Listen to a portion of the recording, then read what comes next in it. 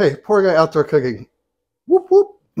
All right, so I just I just started it and I didn't have my mic on, so I have to remember what I was going to say. So pork bell pork belly burnt ends. This is what I've been wanting to do for a long time.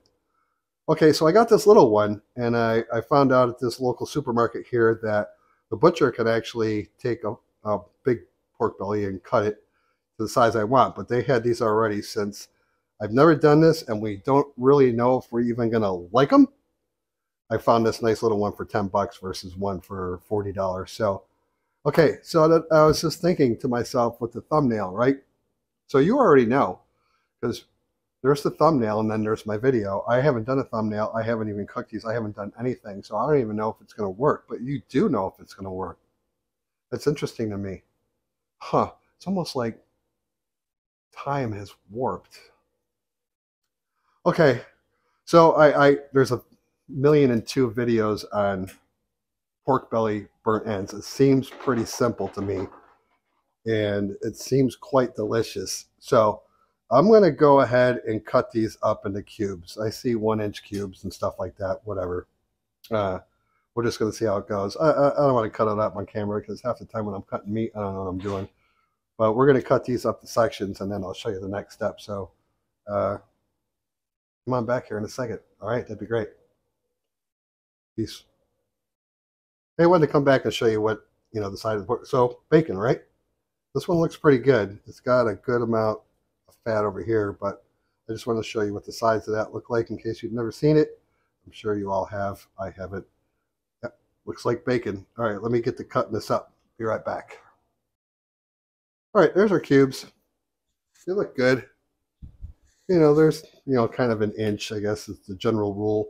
Um, I'm just going with one of our favorite all-purpose seasoning, Weber. Um, some people use, you know, a sweet one and a savory one and all that jazz. Um, so when we do these, when we make them into burnt ends, we are going to add uh, brown sugar, butter, and, and honey to it. Uh, so I don't think you need anything too sweet at this point, but that's just me. Uh, so you just want to, I mean, use it up. I know these can withstand a lot of seasoning. We're just going to coat each side. Get them just coated. Good and good stuff there. And again, I've never done these. This is not a how-to video. It's a typical poor guy video. And if you're new here, this is kind of how we do things. I've never done these. I've never worked with pork belly. Uh, and it's super cold out today, at least for us Oklahomans. And uh, so I'm going to attempt to do these on my Char-Griller Acorn Junior, my little guy, because it it, it, um, it stays pretty pretty consistent in cold weather. So that's that's the goal. So I'm going to go outside and get that charcoal and everything warm, warmed and hot and goodness. And I don't even know what I'm saying. And get that. I'm going to get that thing started, and then we'll meet you outside uh, if you're still with us. Okay. Thanks. Peace. Okay, there we go. We got the little Char-Griller Acorn Junior all set up. As you can see, it's reading pretty high temperature. It took quite a while to get the charcoal where I need it to be. Uh, typically on this style, they recommend using lump charcoal.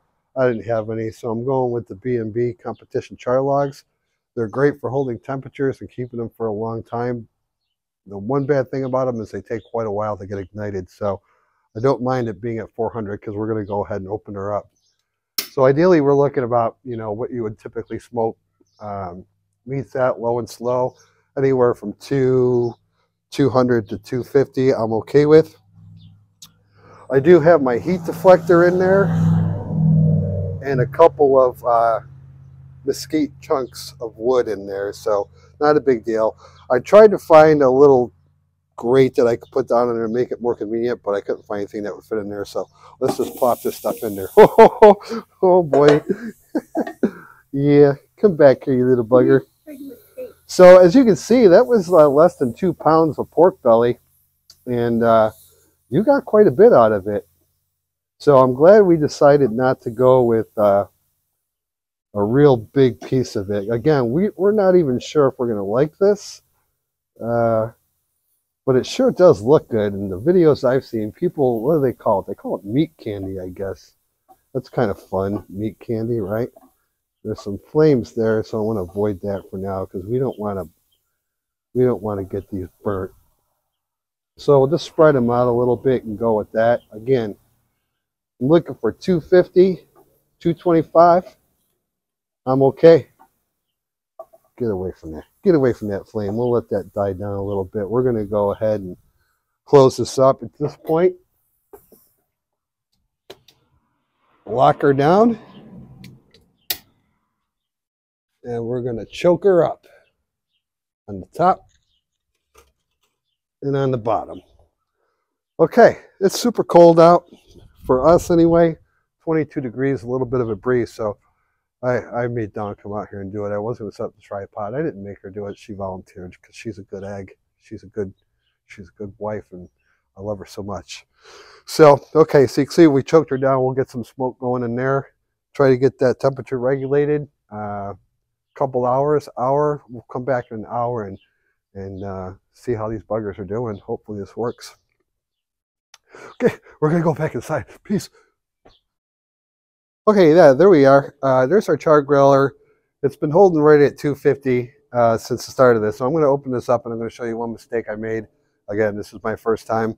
Uh, so it was a little too hot at the beginning and some of my little burn ends got burnt. Not all of them, just uh, some of them that were around the flame, which I don't know if it really makes that big of a difference. I mean, it's like crispy bacon, basically. So let's get these. I'm going to use this this Dutch oven for the second part of the process. And yeah, some of these, like I said, uh, they were sitting over the flame, and initially it was it was too hot at the beginning. So, uh, rookie mistake. Go ahead and let me have it for all you professionals out there that have done this a hundred times. I'm willing to take uh, some lessons, but I think I, I got that part figured out. So it is what it is. Um, so what we're going to do is we're going to take this in the house and we are going to add the barbecue sauce, brown sugar, and honey. And then we're going to bring it back out here. So I'm going to open this all up, let that flame get high and nice and hot in there. And uh, oh, yeah, okay. So again, typical poor guy video. I did probe them. I wasn't necessarily concerned about the temperature, but I did look at the temperature. They're probe tender, so uh, most of them are reading right around 200. So uh, we're going to go ahead and bring them in the house and put some stuff on them. Yeah. Come on in. Come on in. Come on in. Pause. Peace out. All right, there they are, our little crispy pieces. Let's go ahead and put some barbecue sauce on there. This is just uh, Head Country barbecue sauce. Uh, just original good old barbecue sauce. Uh, Let's put some butter in there. I don't know if there's a right way to do this or a wrong way to do it. It's kind of like when you do ribs, I guess, the 3-2-1 method of ribs. Let's put some brown sugar in there.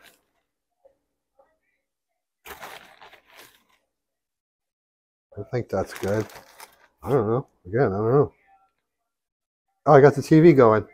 Oh, sorry. That's all right. We're watching uh, yeah, look at that. We are watching the worst cooks in America. That's kind of fitting for the poor guy, huh? right? Uh, more barbecue sauce. Okay, so we're going to bring this out and we're going to put it back on the acorn. I'm going to cover it up. We're going to let it cook for, I don't know, some more time. Like I said, it, it took less than an hour to get it to that point. And uh, we're going to bring it out there. Uh, uh, I will bring Dawn out there. It's still cold. And then we're going to let it cook out there for a certain amount of time. I don't know. I'll let you know. And then uh, see what happens, I guess. Poor guy, pork belly burn ins as usual. I have no idea. Peace. Let's take a look at these bad boys. It's been about another half an hour. There's my little Dutch oven. Oh, steamy. Oh. Mm, that sounds good. Can you guys see them? Oh yeah, it does smell really good. Okay. We're just going to leave this in here for a little bit longer. Oh man, that smells good. They look fantastic. Uh, we're going to leave this in here for a little bit longer and hopefully get to that, I don't know, that burnt end kind of part, even though some of them are already burnt. Uh, next time you see us, we'll be in the house and we'll plate it up and give them a try. Okay? Come on back here. Peace. Hi. Look it. There they are. Um, okay. So really, that's what they're supposed to look like, minus the ones that got charred at the beginning. Like I threw out there, the the temperature of the acorn was a little too high at first, but all in all, it looked good. So about an hour, the first section there, uh, and then we put the brown sugar, the barbecue sauce, the honey, and the butter on there. About another half an hour with the lid on, and then about five, ten minutes with the lid off, and this is what we came out with. So uh, Dawn is right there. Aiden is right there. I'm right here. Let's go ahead and give these a try.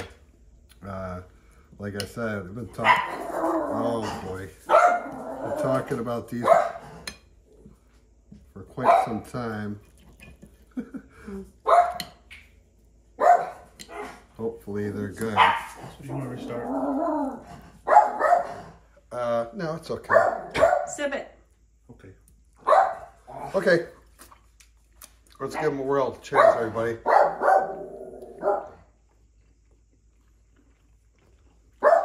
Mm. That's actually really good. Mm-hmm. Boy, oh boy. Enough there. Hey, please. Please time out. Quiet on set. Uh, they're good. Um, they're savory, sweet. Um, what do you guys think? I like it. I like them. Yeah, I want it on rice or something. yeah, rice would be good.